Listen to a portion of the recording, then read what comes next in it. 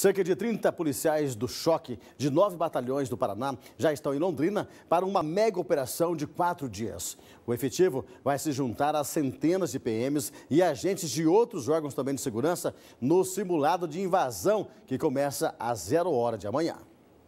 O comandante-geral da Polícia Militar do Paraná chegou a Londrina na manhã desta quinta-feira para realizar visitas a batalhões e pelotões que pertencem ao 2 Comando Regional além de acompanhar os preparativos do simulado de ataque durante a madrugada de sexta-feira.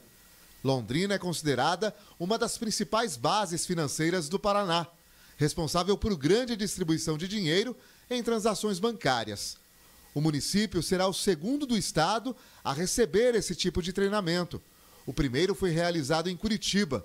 O objetivo é preparar a tropa para um possível ataque como o que ocorreu em Guarapuava. E nós estamos fazendo esse simulado para ver realmente o nosso tempo de resposta, para ver quais são as alternativas que temos dentro do, da situação atual, daquela situação de roubo, e tentando aprimorar cada vez mais. A cidade de Londrina foi escolhida porque é uma cidade que também tem base de valores. É, faremos em outras cidades também, mas hoje esse exercício será aqui. Veremos os nossos tempos, veremos nossos erros, os nossos acertos, para, para padronizar melhor as nossas ações. Além de Londrina e cidades vizinhas, durante o simulado estarão participando policiais do BOP de Curitiba, de operações aéreas, além de integrantes do Batalhão de Maringá. O treinamento vai contar com um grande número de viaturas e deve chamar a atenção da população, com explosões de bombas e tiros de festim, mas que devem fazer muito barulho. A previsão de explosões, de disparos de arma de fogo com munição de festim, né, para trazer mais próximo da realidade, como foi em São José, São José dos Pinhais e em outros estados também.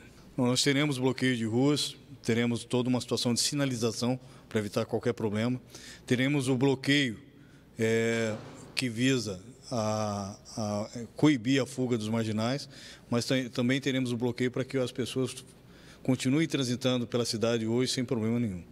Além do treinamento que simula a invasão da cidade por uma quadrilha do Novo Cangaço durante a madrugada, equipes de nove batalhões do choque do estado do Paraná já iniciaram uma grande operação com duração de quatro dias na região de Londrina. Nós estamos acionando o batalhão de choque para vir para a região aqui de Londrina e do segundo CRPM, né, que vai até Jacarezinho, em operação nessa área. Então estão vindo já Estamos avaliando o tempo de resposta, obviamente sem deixar desguarnecido as outras regiões de onde saíram esses, esses policiais, e farão operação aqui nos batalhões, operação batida policial, saturação, bloqueio, entre outros. 30 homens que virão aqui para a região.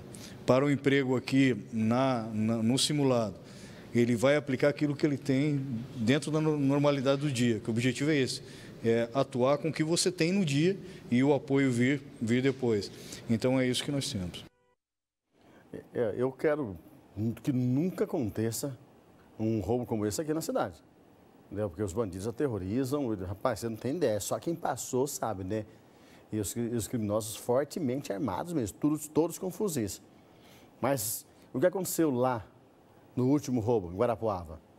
Informações davam conta, né? Tanto deu repercutiu no Brasil todo, e aliás, não foi só um dia, foram semanas aí naquela repercussão, é que os policiais não estavam treinados para receber, para lidar com a situação que é lá. É até difícil ter, é difícil.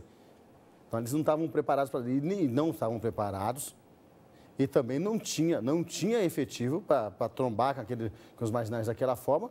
E até surgiu uma informação à época dos fatos de que é, o alto escalão da polícia sabia da informação e não teria repassado com com, com rapidez para os policiais. Eles foram pegos todos de surpresa. E daí deu no que deu, um policial acabou sendo morto. Isso foi o que foi noticiado na época dos fatos, com muitas informações. É, resultou no afastamento do comandante da Polícia Militar daquela, daquela região, por conta de que a cidade ficou sitiada e foi todo mundo pego de surpresa. Mas a informação é que ele foi afastado, inclusive, até porque ele estava comemorando numa festa lá um ou dois dias depois do, do roubo.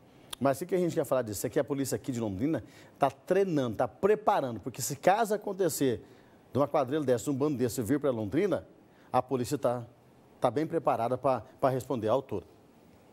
Então, aguarde, porque essa, essa madrugada promete, hein? Vai começar aí na zona, na zona oeste, barulho de bala, tiro para tudo quanto é lado.